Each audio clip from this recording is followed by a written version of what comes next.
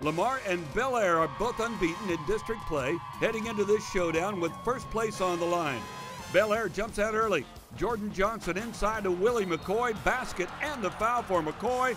Cardinals up by five after one. In the second, Bel Air's Jaylon Calvin with a nice dish to a cutting Elijah Lawrence. Well done right there for two. Final moments of the first half. Kaleb Collins tosses up the runner off the glass. Nice shot to beat the halftime buzzer, and Lamar down by two at intermission.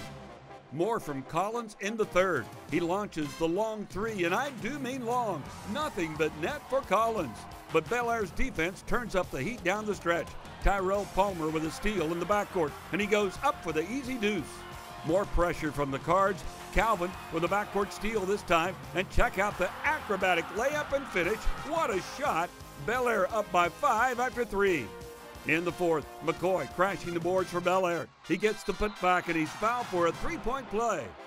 Later, it's Lawrence there for the pickpocket steal and he takes it all the way for the fast break bucket. And Bellaire pulls away for a 59 45 win over Lamar.